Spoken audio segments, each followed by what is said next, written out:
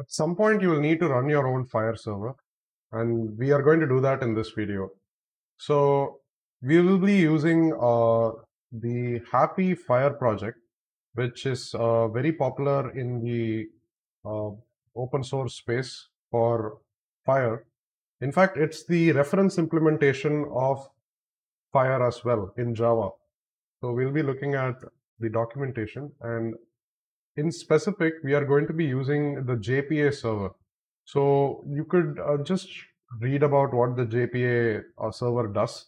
And in fact, what it uh, it has multiple layers. It has the HAPI RESTful server. It has the HAPI DAO implementation, which has all the business logic, and it also has a, a communicator to the database.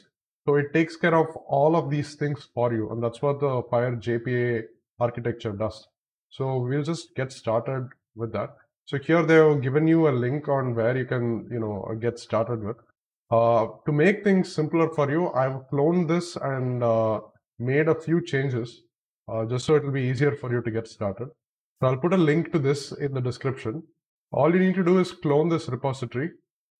Uh, just click on this and do git clone that URL. And uh, I already have it cloned right here. I'm just going to stop this real quick. So uh, the easiest way to run this repository is using Docker. And all you have to do is, uh, I'm just going to stop this because it's already running. And uh, I'll just close this. Yeah, the other one. Yeah. So on your terminal, first install Docker, Docker Compose. And after that, uh, all you have to do is run Docker Compose up. So what this will do is it will build all of the things necessary for this to run, including Java, including uh, Maven, Jetty, everything. Uh, and it will automatically do all that for you. And it does not pollute your local computer with uh, things that you don't need. For example, you may not need Java development kit in your uh, PC. So that's what this will do. And you can run this on Linux, Windows, uh, Mac, anything that you want. So here we can see that the Jetty server has started and it's running on 8080. So let's go and test that. Let's just open Insomnia and do HTTP local host 8080 metadata. So the metadata uh, URL is for the server to give us the capability statement. And as you can see, it's working and it's giving us the capability statement.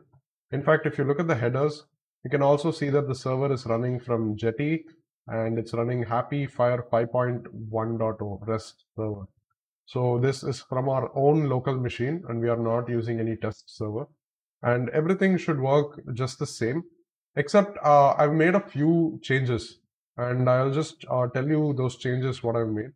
Uh, so the first thing and the most important thing is that I've enabled validation of resources by default.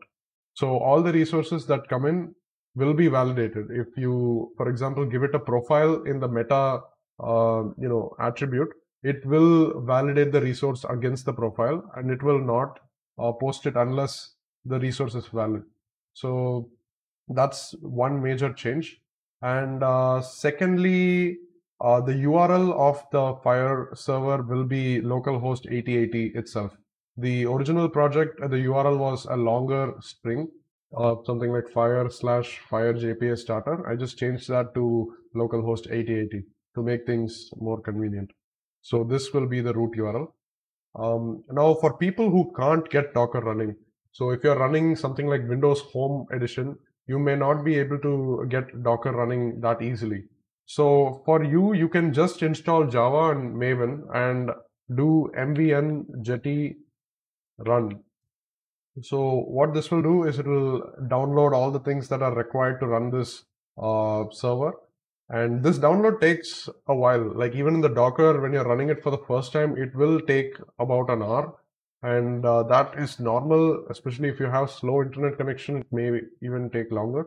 So, you know, just uh, put it there, go do your own thing and come back to it later. So, uh, in a while, this should also start running the same way as the Docker image was and uh, that is how you get uh, your own you know FHIR server running Uh, if you would like more tutorials on uh, HAPI FHIR, I would be happy to help. And uh, just put them down in the comments below uh, what you need. And if you like this video, give it a like.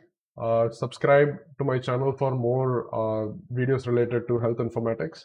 And thank you for watching.